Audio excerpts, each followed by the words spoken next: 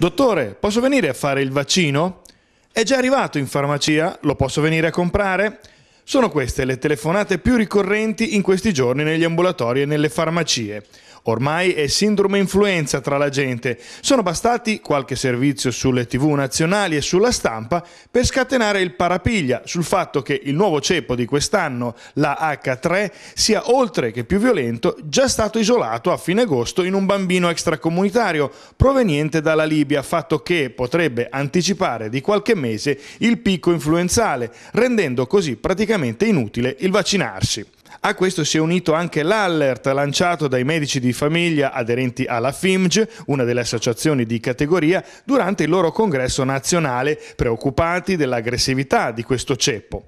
Ma l'Italia è stretta e lunga e ogni territorio ha la sua storicità, oltre ad essere costantemente monitorato da chi di dovere sugli aspetti sociosanitari come il Dipartimento di Prevenzione Salute. Dottor Agostini, questo problema dell'influenza che è in anticipo è un problema che riguarda anche il nostro territorio? Può essere un problema per i nostri cittadini? Il picco epidemico dell'influenza nel nostro territorio l'abbiamo sempre avuto, eh, diciamo, inizia a gennaio per salire in maniera esponenziale verso febbraio, quindi il grosso dell'influenza da noi si ha tra fine gennaio e febbraio, per poi arrivare a marzo dove ehm, eh, decresce.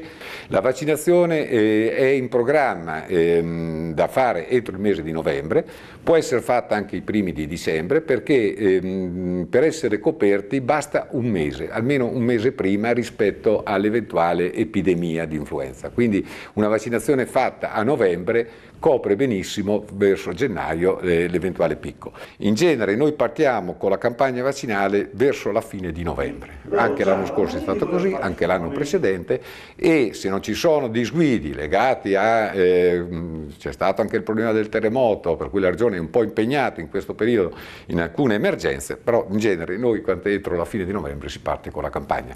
Noi ci stiamo organizzando per partire per, per, diciamo dal 15 novembre in poi.